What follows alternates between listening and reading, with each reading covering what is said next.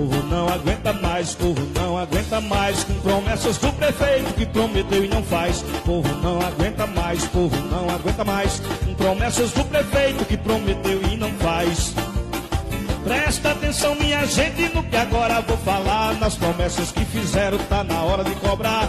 Não dá mais pra se enganar. Mentira desse povo e o troco nós vamos dar. Desprezou o nosso povo, o comércio e a saúde. Quero convidar meu povo pra viver com a virtude. Assim não dá pra ficar e nós temos que se ajudar e tomar uma atitude.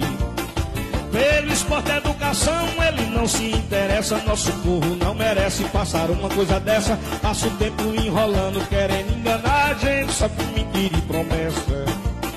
O medicamento o prefeito não traz mais. O remédio de pressão, diabetes e outros mais. Bota agulha e algodão e o povo na contramão, sem saber o que é que faz.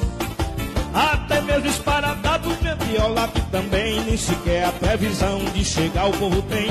Falta gás e seringa e o povo morrendo a míngua, esperando quem não vem. A marcação de exame já está de pouco a nada. Quem não quer gastar com frete a coisa tá complicada, toda a população totalmente revoltada. Quem sentiu falta de ar muitas vezes reclamou. O povo passando mal, sentindo nebulizador. Nunca mais ele lá que ganha, pois isso é uma vergonha com o pobre do eleitor. Só quer saber de vaquejada, dando banho em cavalo. Só com o uísque do caro e o povo sem ter valor. Passa o mês de Natal, só com farra e o isso sem lembrar do eleitor.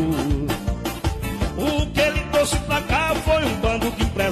cada um com carro caro, humilhando nosso povo, um desfile de amarok. E o pobre sem ter a sorte de entrar num carro novo. Prometeu muitos empregos, mas você veja a mentira, só com conversa fiada e o povo na agonia. O que ele tá trazendo é só empresa, fantasma, mesmo assim por 15 dias.